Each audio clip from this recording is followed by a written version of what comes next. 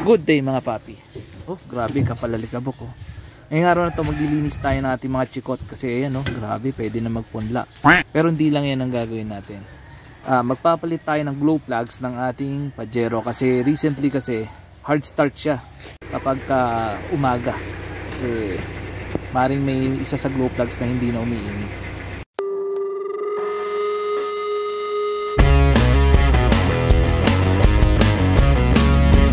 23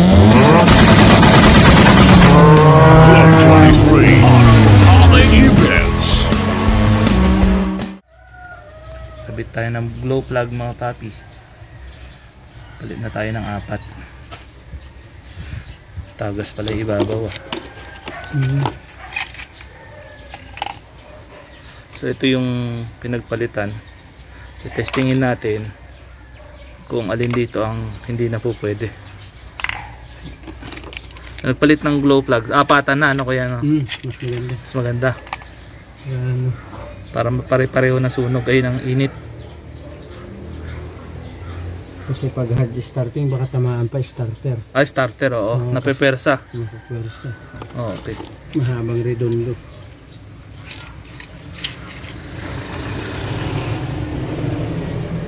Anong gagaling sa ibabaw ng head na, Oh, Quelmer? dito lang, yung valve cover. Ay, valve cover. Dumi na, oh. Valve cover. Pagka may time na, linisin ko yan. So, ayun. Advice ni Kuya Elmer, palitan na raw ng apat yung glow plugs natin. Kasi ang mga 4M40, 4D56, apat ang glow plugs niyan. So, para siguro uniform na rin. That's standard Okay. yung ano, yung pag-heater niya sa umaga. May try nating start. Kasi, recently, pag umaga, hard starting na siya. Mga ilang redondo. Hindi katulad dati, isang redondo lang. Ngayon, marami redondo. Kaya, palit na tayo nito. Glow plug. 4M40, mas mataba siya. Yung sa 4056, mas manipis.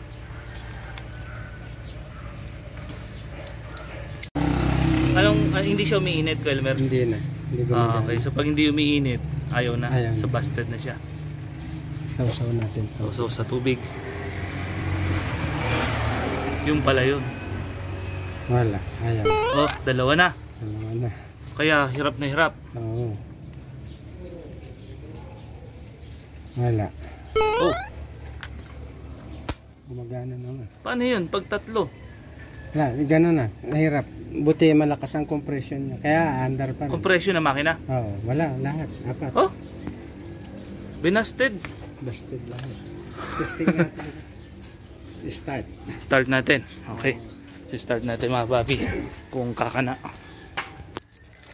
Okay, so start natin. Ayun.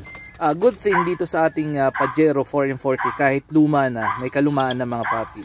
Yung heater plug niya, naka ah, automatic pa rin siya sa ignition. Na kapag ka nag-ignition on ka, accessory on, ah, yun, hintay mong tumunog yung starter relay tsaka mo siya crank. Ah, hindi pa to nakarekta di tulad ng mga iba na nirerekta na nila kasi baka sira na rin yung ah, automatic heater plug niya. Yan, sige, start. Ayun. Sa wakas, bumalik na rin yung dating na. kondisyon niya na dalawang crank lang during cold start ay aandar na. Dati kasi inaabot ako ng lima hanggang anin na crank bago umandar yung makina. Napakalamig kasi dito sa lugar namin mga papi. Sira lahat? Pero talaga nasisira yung Kelmer. Oo, nababasted talaga. So mandar na.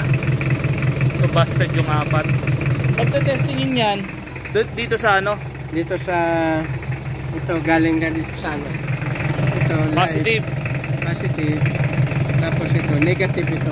negative yan. Tapos dito yung positive. Ah, dyan yung positive. Testingin ko nga sa bahay. Ayaw. Dapat nag-spark. Oh, dapat mag-spark naman. Oo, umiinit. Oh. Nakaiinit yung dulo.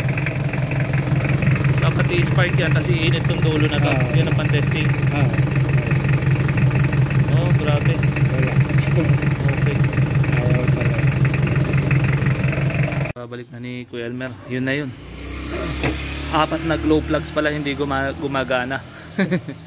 Buti na lang daw, maganda compression ng makina. Kaya napapa-start niya. Pagka ganon, pag mahabang start trans, ah, starter ang sisirain, Hmm. Susunog. susunugin niya. Mm, okay. So yun. Eh, ibago naman tayo yung natutunan mga pati so umandar na yung ating pajero. Dating gawin po ulit mga papi. Kung nagustuhan nyo itong video natin like, comment, share, and subscribe. And papi power.